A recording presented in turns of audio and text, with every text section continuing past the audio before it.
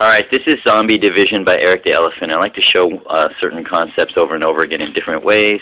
Uh, I want to do this really fast. So, um, you ever notice how the division symbol actually looks like a fraction? Well, that's for a reason, I believe. Uh, you also have 10 divided by 2, and it looks kind of like, you know, if you had the dot and the dot. And then you got 10 over 2, that's a fraction. Um, but it's the same thing as saying 10 divided by 2. So you take that. You say, okay, great.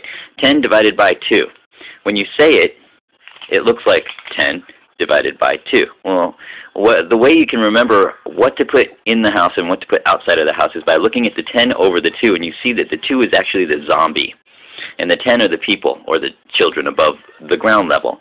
And you say, oh, okay, the 10 needs to run into the house, because the zombie is going to come up under the ground and try to divide it.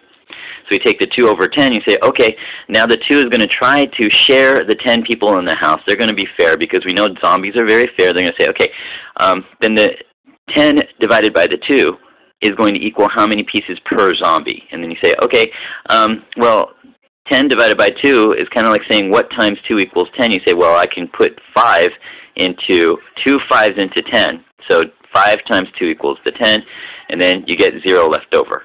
Got it? So that's how you can remember that 10 divided by 2 is the same as saying 10 divided by 2 zombies, because 2 zombies are trying to divide the 10 people. And you know that the zombies are always going to be at the bottom of the fraction, and when you're doing a division problem, it's really just looking at a fraction.